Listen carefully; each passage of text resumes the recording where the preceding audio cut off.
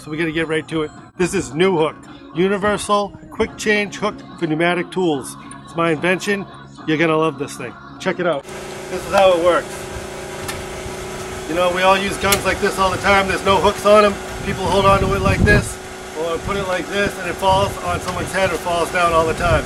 What we came up with is the pneuhook. You click it on, and you're good. Hook it on your belt loop. You can do what you need to do. The beauty of this thing is a universal quick change for any gun. Here's your framing gun. Here's a finish gun. Right on there. Coil gun. Bang. When we say universal quick change, this is what we're talking about. Bang. Bang. When you're done, you take it off, you take it with you. We're hanging on 2x4. I mean, anyone who does construction knows how good that is. That's a rafter, it's a trust, it's everything else that you have around you all day. All right, say you're doing uh, floor joists. You're up on the ladder, you're waiting for joists.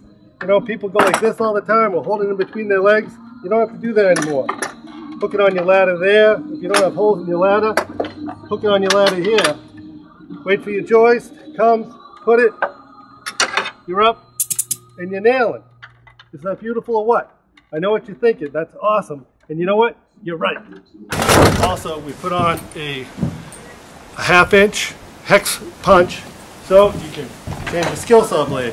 Walk over to your skill saw, make sure you unplug it, put this right on there, and you can change your skill saw blade just like that.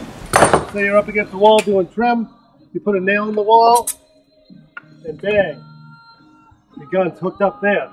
And this works on any gun, finish guns, eight guns, framing guns, coil framing guns. We kind of started with this uh, a couple weeks ago, a couple months ago now, right? Had Yeah. never seen a pneuhook before. What do you think? I think those things are awesome. There you go. Somebody handed me a gun without one and I didn't know what to do. You get you get addicted. You won't be able to work without a pneuhook.